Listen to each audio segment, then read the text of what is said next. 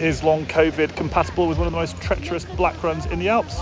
Uh, let's find out in the interest of the great experiment. In this film, I'm going to look at what we know about the pathophysiology of long COVID and then see whether the 19th century treatment of convalescing in alpine mountain air might just have something to it.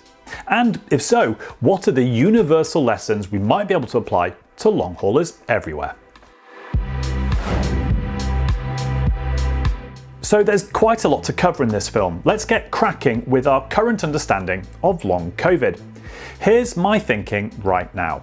We've got interconnected vicious cycles going on in multiple systems in our body, and those vicious cycles create a cascade of issues which precipitate the symptoms we're all so familiar with. Well, what are those vicious cycles?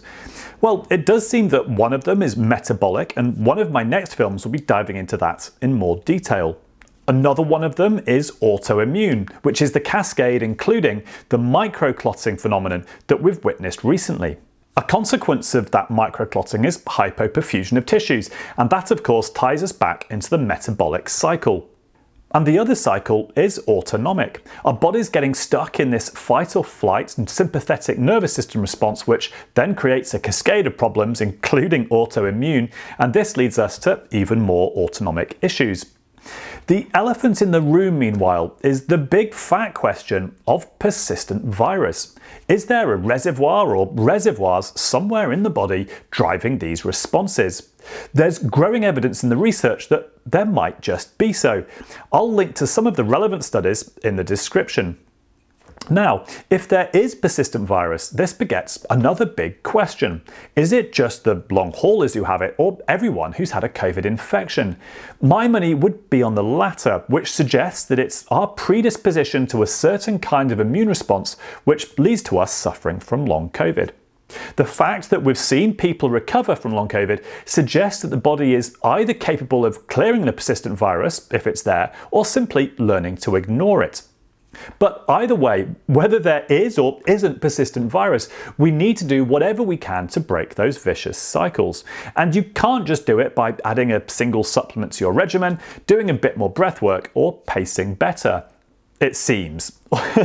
um, although all of those are, of course, essential for managing symptoms and giving us the best possible chance of recovery in any scenario. What I wanted to look at was staging an intervention on multiple fronts across body, brain, and mind to see if we can throw a big enough spanner in the long COVID works to let our body's natural homeostasis find a way of taking control again. And that's where the whole subject of alpine retreats that may or may not include skiing come in. Now, to quickly flag up the one word in there that may have got people's hackles up, um, that is the mind. Um, and just to be clear, as has always been the position on this channel, long COVID, like ME/CFS, is a biological illness with proven biological pathology and is in no way psychosomatic. The biopsychosocial lobby can go flush their papers down the proverbial toilet. However, as discussed in the film I made with Professor Tommy Wood, there's no shortage of studies showing that what goes on in our mind can affect our body, and most certainly when it comes to autonomic function. So to ignore it when we're looking to stage a multi-level intervention might be foolish.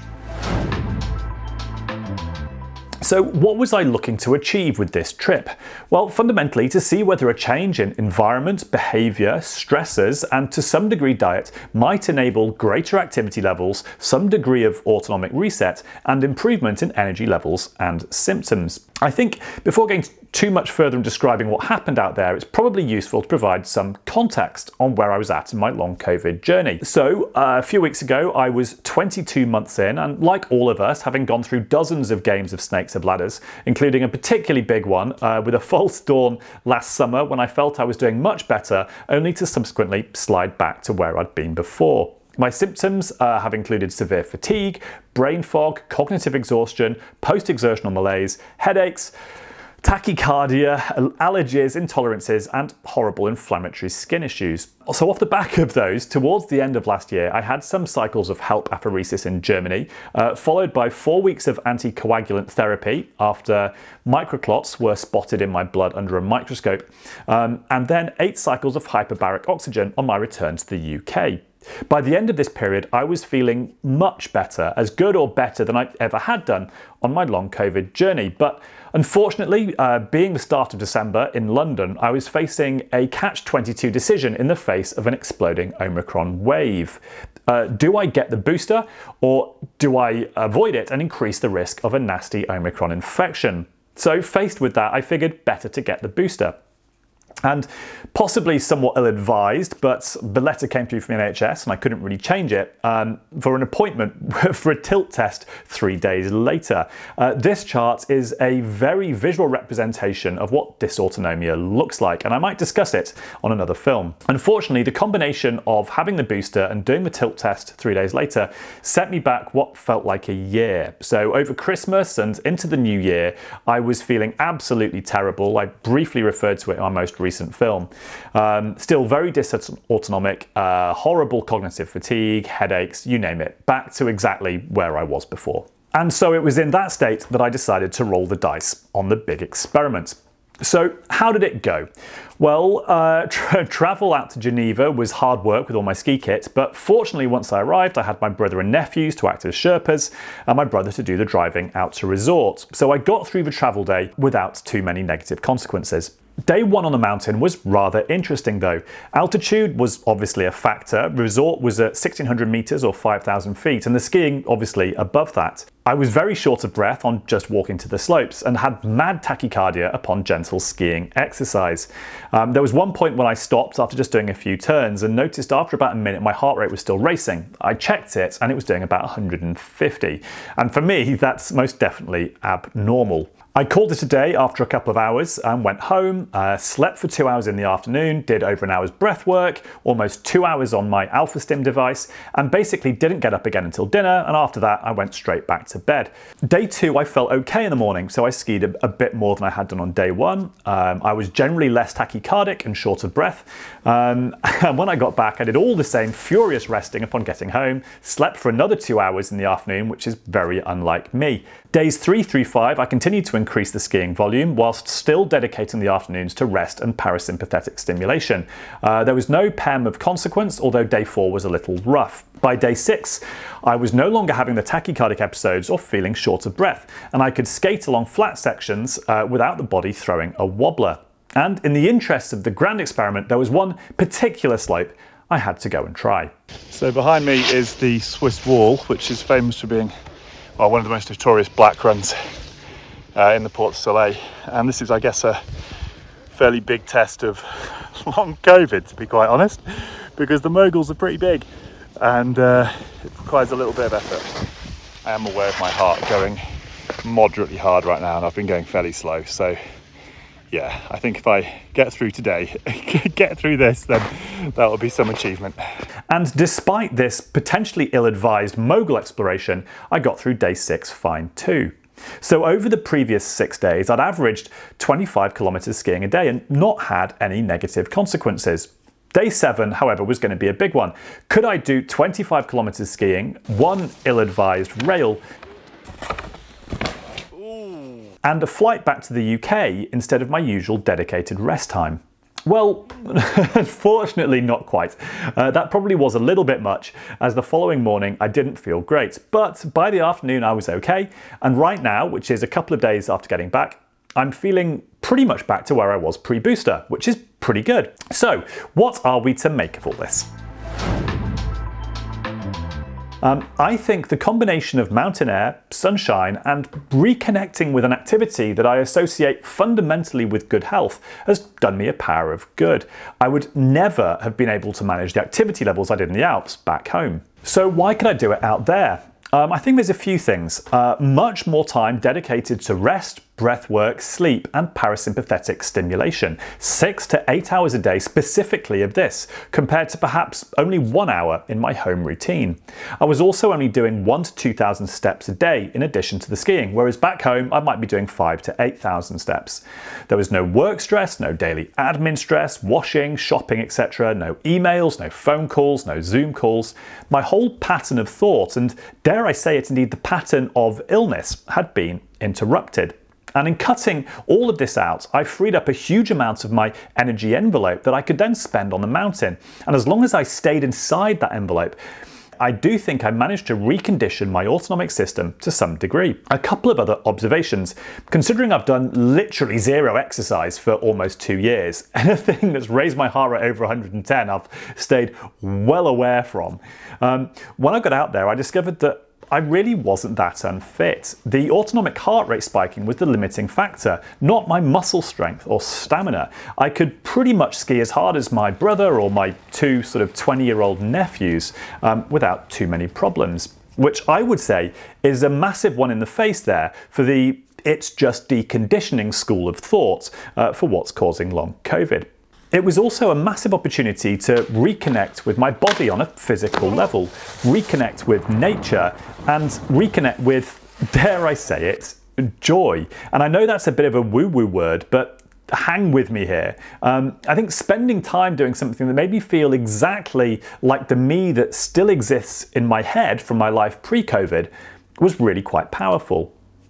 When I was flying down the slopes in the glorious sunshine, I wasn't worrying about my step counts or when I need to preemptively lie down and do some breathing. And by interrupting those thought patterns in that way, I do think it helps us get the body out of fight or flight and spend more time in the rest, digest, and heal where we need to be.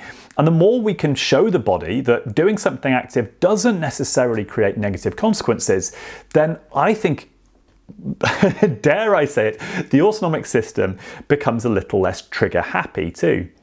So overall, the trip was such a success that I'm going to go back out in a couple of weeks and I'm going to spend another week out there to see if I can build on the progress of last time. I'm still a long way from where I was pre-COVID. I can't eat pizza, I can't have a cold beer with lunch, uh, there's certainly no après ski, um, and furious resting is required to even enable me to ski half a day. It's a long way from working full days and marathon training. Um, but at the same time, uh, being able to ski several half days on the bounce gives me real hope that full recovery is possible. Okay, so enough about me. Uh, here's the important stuff. How is this relevant for everybody else? Uh, the first part of uh, this whole experiment is the environment. I think there's a lot to be said for switching out of your daily normal environment for somewhere that you can cut yourself off from the daily stresses and thought patterns that dominate your life without you even realizing it. Can you get to the mountains or perhaps to the coast? Good weather is desirable, so maybe you do have to try and venture abroad, particularly at this time of year. But I am aware, of course, this is dependent on you being able to manage the associated travel. The big point here, don't underestimate the power of fresh air and sunshine. And whilst you're there, is there something you can do that reconnects you with the old healthy you without, of course, overdoing it? So, you know, staying inside your energy envelope is absolutely key. Unless you're an experienced skier, I wouldn't necessarily recommend you try exactly the same thing I did because you'll burn too much energy. That's why I didn't take my snowboard because snowboarding just demands more of you than skiing. I also wouldn't have been able to manage, for example, a walking holiday in the Alps. That would have been too much for me. But I could stand on two planks and let gravity slide me down hills. So fundamentally, if there is something you can do which does work in the same way for you, maybe swimming or yoga or something else, then I do believe it'll help create a more successful intervention in breaking some of those vicious cycles that function on so many different levels. I think we need to intervene in as many ways as possible to move the dial here. So how can you find that version of flow, which if you've ever done yoga, you'll be familiar with the term. Um, how do you find that and the physical connection to your body uh, in a way that works for you? Um, one of the ways I've tried to do it uh, in the last couple of years is through doing motorbike track days. And I can just about get through each of those by resting between each session. Um, and this is kind of what I do in the absence of having been able to go skiing. It helps me find my flow and my reconnection with my physical self. But unfortunately, I do tend to be a bit pemmed afterwards as I can't factor in the dedicated time resting. And I also haven't managed to change my environments in the process of going to do one. And they're also just one-offs, single days. So I think as interventions go, that, for example, um, hadn't been effective because it hadn't been working on enough of the levels at the same time. I do, of course, need to add that you need to be at the right stage of your recovery to be able to try this kind of thing. There's no point going away if the travel alone would give you a relapse for a week. So you do need to be responsible. But on the flip side, I actually wasn't going to go on this holiday. My brother first suggested it. I thought there'd be no chance I'd be able to ski and it would just be exhausting travel for no reason. But it turned out that the environment and resting priorities meant I could do far more than I had previously envisaged possible. So what I would probably say is if you're on the fence about whether you're at the stage where you'd be able to manage something similar, I'd probably say go for it. So, in summary, can staging a multiple level intervention like this help reset those vicious cycles that stop us recovering from long COVID? Just maybe Yes, I really do think I managed to reset the autonomic nonsense that the booster set off in me and go back to where I was uh, before that, and my energy levels are improved too. Is this an n equals 1 experiment over a short time frame? Yes, of course it is. But I would add that anecdotally, the people I know who have recovered have generally done something pretty similar. They've got away from everything for a number of weeks or months and dedicated their energy to recovery and not just getting through the daily grind. I do think that there's something to the age old adage of healing mountain air, and those Victorians and their convalescence retreats might just have been onto something. This has been a slightly unusual film, as you might have noticed. I try to avoid talking about myself as much as possible on this channel because I get a bit self-conscious and I kind of feel like I'm no more important than anybody else out there and who really cares how I'm doing. Anyway, don't worry, back to normal service with the next one. I'm going to catch up with Dr. Wenzel on his latest paper and what it means for the metabolic connection with the microclotting pathologies we've discovered recently, and what that might mean in terms of how we can treat long COVID. So look after yourselves until next time.